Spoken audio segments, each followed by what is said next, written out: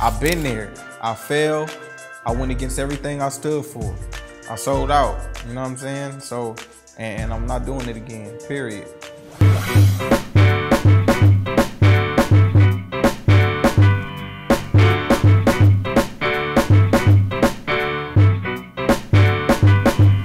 want to thank Bizzle for joining us um, with the first of our Uvu version of the E equals MC squared series as a part of ProfessU.com. We want to thank you first and foremost for participating in this with us today, uh, Brother Bizzle. We just wanted to ask you a few questions um, regarding your journey and what's inspired you, and we want to let Dr. John Hamilton begin. My first question to you, brother, is um, who is Mark Felder, aka Bizzle?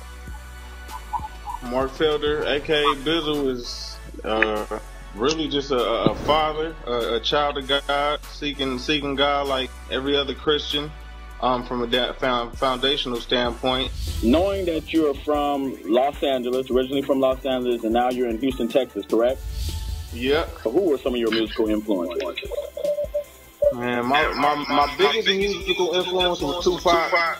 I used to listen to everybody from Jay Z, T.I., Kanye, Big, you know what I'm saying? Uh, Bone Thugs, like I, I had so many different cats that I listened to. Um, I was just a hip hop head in general. Media got us aiming to be American gangsters.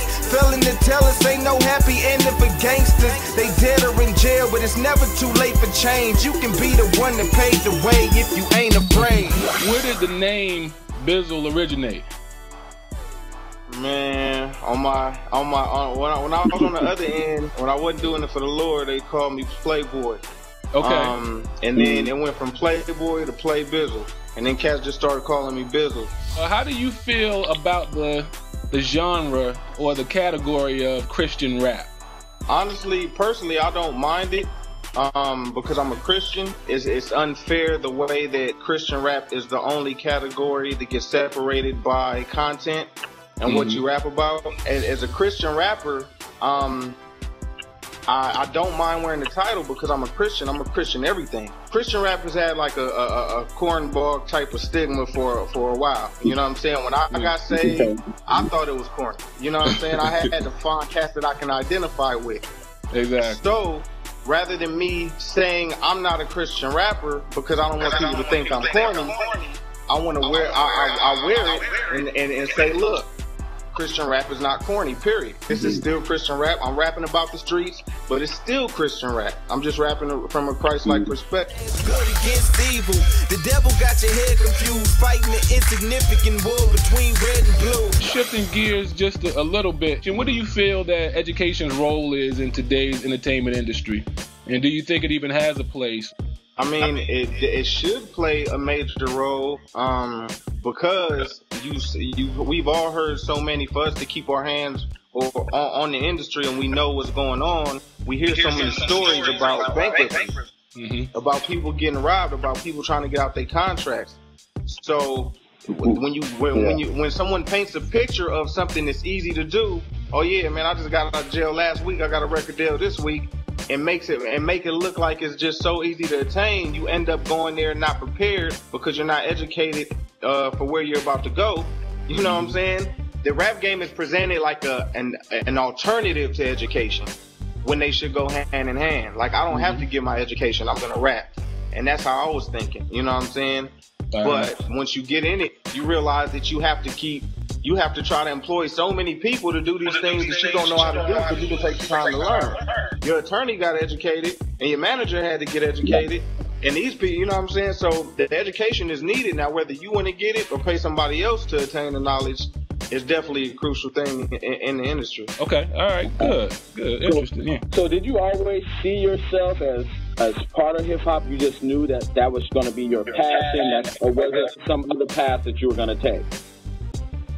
Nah, when I was, I mean, when I was little, I was doing sports, but I knew, like, I was writing rap. I've been writing rap since I was eight. You know what I mean? Crayon. Okay. Like, so I came up like that was my dream. Some of us get the opportunity to have this platform, and coming, you know, mm-hmm. being African American, it's like you have a people that were formerly, uh, uh, formerly enslaved and, and bondage, uneducated. Like you get this platform where you can talk to a million people. What are you gonna tell them?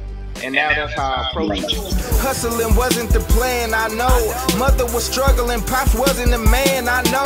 But even though your father was not home, he left, but he's not gone. You still got a father seated on the most high throne. When you now you talk about this, the, the platform that you have, and a lot of entertainers have this platform. And we know we just finished, uh, wrapped up with the Grammys, and I know a lot of entertainers always thank God, you know, when they're accepting that award. And it's clear that you know you have a clear message, you know, within your music, and you have this calling through your music. So, what message would you give to a young male or female who's itching to get into the music industry? First and foremost, be you, and I, and I say that because I was trying to be other people when I can't when I when I was trying to get on it first. Probably another question we already would know the answer to. But what role does family play in your everyday life and in your career? Oh man, I mean, I mean family, family plays, plays it plays such a big such part a big because, because one, just just, just being in everyday, everyday life, life, I have to learn how to balance a lot. Mm-hmm. You know what I'm saying? I think it's a, it's a problem. One, most of the time we don't have fathers in the household. But now that I'm a, I'm a father who's in the household, I need I need to learn how to balance my time and attention between the music, mm-hmm. you know, just ministry in general, mm-hmm. then my wife and my children, being a husband and being a father. What role did education play in your life, and what kind of student were you during school time? No, I was, I was, I was, I was a bad student, man. I was, uh, you know, I talked a lot in class. I got a slight case of ADD. So my focus was never on point. I wrote raps in class all the time. So I was I was a smart kid, but lazy kid at the same time, and I knew what to do to get by. I stopped taking my education for granted. So when I got into college, you know, because I did, I wasn't sure if I could get into one. I, I, I ended up going to Prairie View A&M. So I ended up dropping out. Mm-hmm. And why I dropped out was, and and hopefully this is not the case for um, a lot of people who, like me, probably don't have the bread. Like I, I got financial aid. My best friend, who was my roommate, which is now he's making good money. Like I had to, I start realizing my wife, she stayed in school around when it once it once it gets around graduation time, you start feeling like you messed up. Yeah. You know what I'm saying? Because it, it, it, graduation seems so far away yeah. when you're a freshman in college. But then when you start when people start graduating, and you would have been graduating at that time, you like, dang, now my wife, she working for the Houston Rockets. My my homeboy, he working, he making over a hundred thousand dollars a year. I'm uh-huh. like, yo, I trick. You know what I'm saying? like I said, like we I present we present rap as, an, as an alternative to education rather than to be accompanied by education. Um, but some of these artists that go to school, like like I, am down here in Houston, so I know a couple years ago, Lil Wayne was going down to U of H.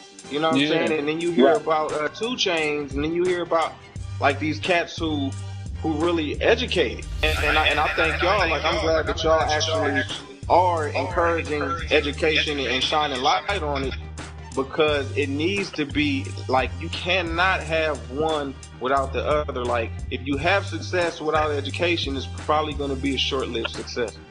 This is absolutely what we stand for. You know, uh, I can't say it any better than that. How important is it for your peers that's in the game to be role models? I mean, it's. I, have heard people when I was a, a, a kid coming up. I, I, heard people use the term all the time that you know I ain't no role model. I ain't no, but mm-hmm. it's like just saying that you're not a role model will not stop children from following you. they look up to you. Right. You know what culture we come from. You know fathers are not in the households like that. Mm-hmm. So as right. far as a male to look up to, the hip hop game is dominated by males. And they present themselves as right. strong males to follow. You know what I'm saying? And they're mm-hmm. successful. Yeah. And you see them on yeah. TV, they have what you want to have.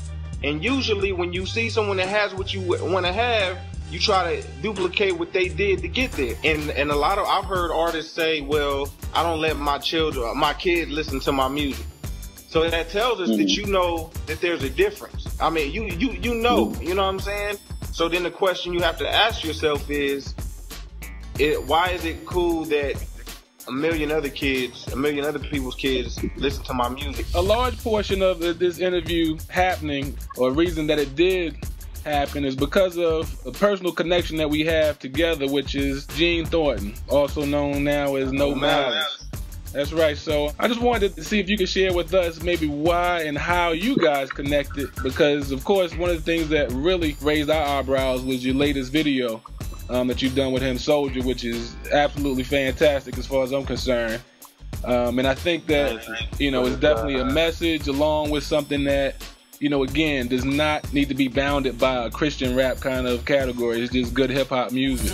I show enough needed me some relief. I ain't needed Jesus peace. I needed Jesus' peace. What are the requirements for you to to really pair up with someone else to collaborate with? I'm not opposed. Like it, it, because you can look at it different ways. I'm not opposed to hopping on a, a, record with somebody from what we what we would call the secular rap, you know what I'm mm-hmm. saying, side. But what I won't do is co-sign somebody right somebody's righteousness when they're not. That's not what they represent. That's not what they live out. Almost come to an end to this interview. You know, what do you say out there to those to those young cats or you know women that want to go out they want to get into this particular genre. What do you say to them? Thing is to, to just focus on God, like really get that relationship. And as your heart starts changing, the Bible says that out of abundance, uh, out of the abundance of the heart, you know what I'm saying, the mouth speaks. What goes in is going to come out. So mm-hmm. when you filling yourself up with all this, you know, the the bang bang shoot 'em, kill 'em, kill you when you freestyle, yeah, it's easier to write, but when you freestyle, you gonna freestyle what you right. you know what you take in. I, I, I think we we need to do a lot better with the platform. Like the platform is there. I think we need to look at it. Stop looking at it as just a means to make money. You know what I'm saying? Maybe I'm tripping, no. Maybe I'm seeing things, and maybe I see some things like a need for change. Yeah, this has been great. This has been great, man. And this uh it is obvious that you are going to be part of a larger mission here that's going on as far as really just putting some truth out there. And that's what we're all about, you know, what ProfessU is really sharing what the truth is. Again, I think one of the things that you said earlier that really stands out is the fact that if you are in school, rap about that. I think that that type of message is something that needs to be heard, and especially as someone of your caliber, um, it just holds you know a little more weight um, than when some other people say it. So we really appreciate you uh, participating in this with us today. And uh, we want to congratulate you on all that you've done thus far and for everything that's to come. That's oh, right. man, thank you all.